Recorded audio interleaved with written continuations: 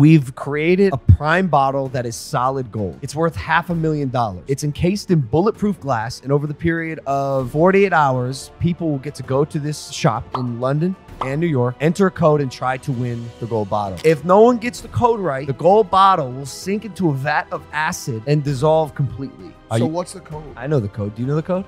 Wait, how do you know the code?